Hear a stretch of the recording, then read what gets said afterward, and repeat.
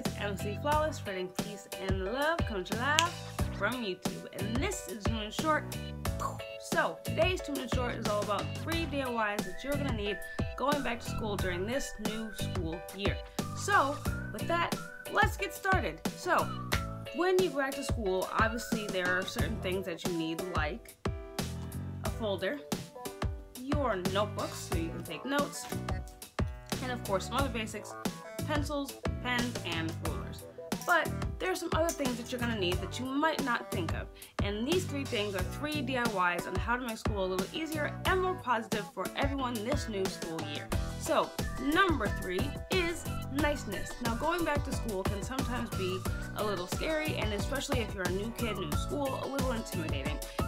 Nice to people by giving compliments, walking up to someone maybe that you see in school but you've never talked to, or someone that's brand new, and saying, Hi, how are you? Making friends and spreading positivity can make things a little easier.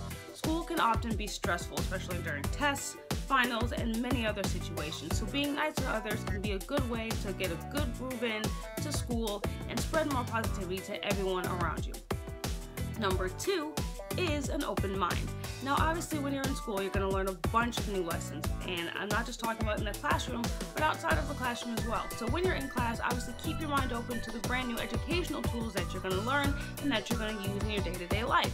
But also, keep an open mind to people around you. You're going to meet new people who come from different walks of life and who have different opinions and different viewpoints on things than you. So, it's always good to keep an open mind and remember that even if someone sees something different from you or has a different opinion, it's not wrong, it's just different. So always keep an open mind and allow not just yourself to grow, but your mentality and your mind to grow as well.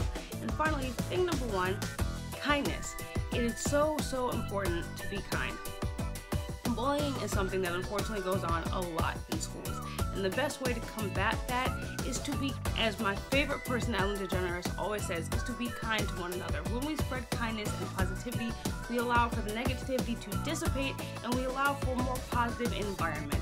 As I said before, school can sometimes be stressful and intimidating, so it's good for us when we spread positivity and kindness by simply being kind to one another, saying, hey, are you okay? Being there for somebody, supporting people, and helping someone out.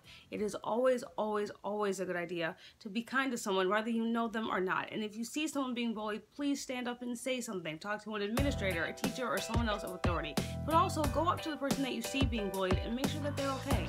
Being kind, having an open mind, and spreading niceness and positivity are great DIYs that you can use every single day in your school career to help spread more positivity and make things a little easier. With that, thank you guys so much for watching. Please like, comment, and subscribe, and let me know what other tips and tricks and advice and DIYs that you have for going back to school and making things way more positive and keeping the environment good.